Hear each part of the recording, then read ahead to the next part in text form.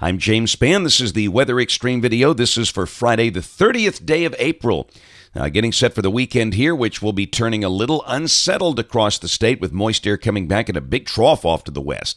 Let's go to some of the Skycam shots around the network this morning. First off, from the Gulf Shores.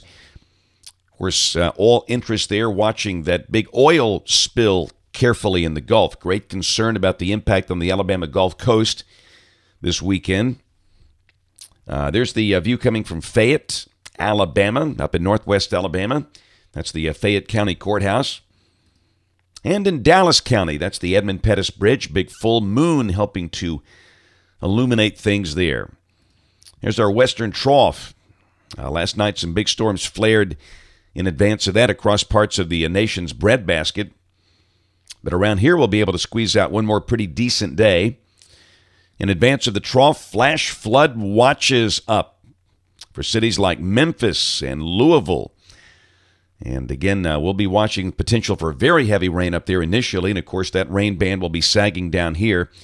Convective outlook today. Slight risk of severe weather. That is the standard risk from North Louisiana up to about Minneapolis, St. Paul. That includes Memphis, Little Rock, St. Louis, the Quad Cities.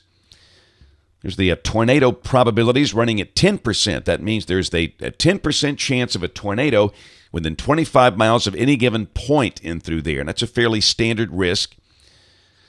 Tomorrow, for Saturday, slight risk, a little deeper into Alabama this time, basically along and north of Interstate 59.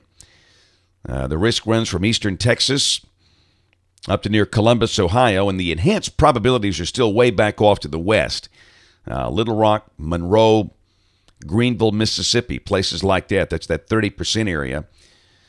And then Sunday, a slight risk for parts of North and West Alabama, back into Mississippi, much of Tennessee, all of Louisiana, and also a slight risk up in the Northeast, too. That includes New York City and Pittsburgh and Philadelphia. But this is really the greatest concern this time is for some flooding. Somebody north and west of here could see some pretty big problems. The big bullseye, 6.4 inches. That is a lot of rain. That would be north of Jackson.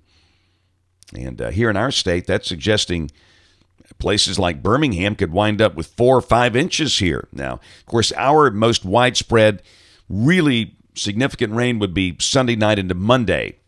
Uh, this map is valid through Tuesday evening of next week. Let's take a look. This is the 0Z GFS at 1 o'clock today at 500 millibars.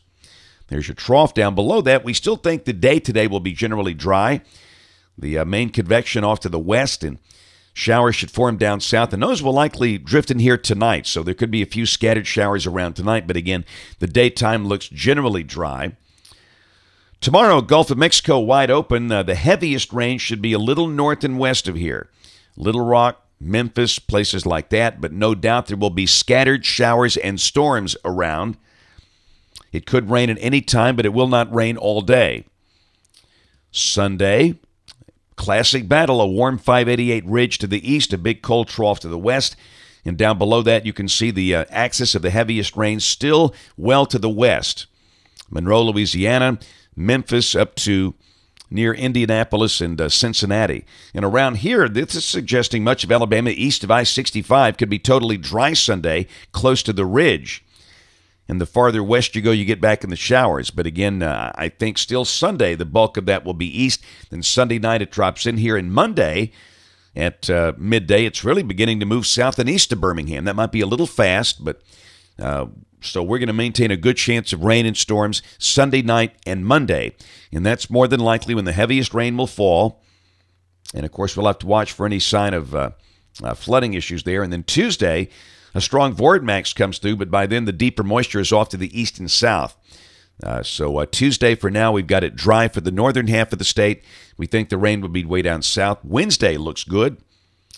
Sunny and warm. There's no cool air involved here, so we're still talking highs up in the 80s. And Thursday of next week looks dry. We from today, you can see the core of the westerlies a little north of here. Cold front to the north is going to have a hard time pushing farther south because of that upper airflow, and that looks mostly dry.